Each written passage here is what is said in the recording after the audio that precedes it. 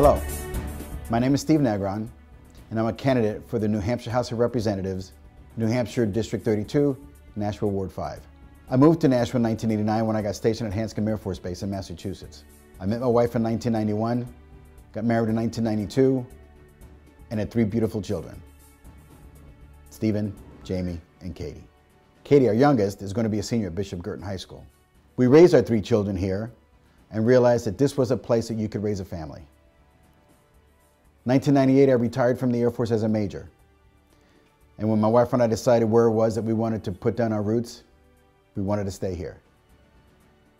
During that time, I was very active in the community. I was assistant wrestling coach at Nashua Catholic. I was a baseball coach in Cal Ripken. I was a female softball coach in the city of Nashua. I always wanted to give back to the city that gave me so much. Now, this next stage, I'm running for political office. I'm running for office because I believe there are things and issues that face this city and, and state that are important. The opioid crisis is one that is staring us straight in the face. We need to tackle that head on. And I believe we can do some things that can reverse that trend. Veterans. I'm a veteran. My wife is a veteran. Her father and my father were both veterans. We understand the veteran issue. We need to be able to provide a safe haven for when our troops come back from harm's way, that they know they're going to be taken care of from the state that they left from. Small business.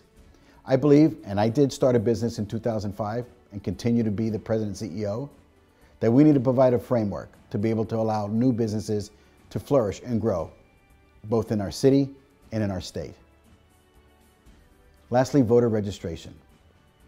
The voting registration law in our state allows people who are non-residents the ability to cast a vote and to sway an election. That cannot be. I believe that those people that are true New Hampshire residents are the only ones who should be able to cast a vote. So as I go forward, I look for your trust.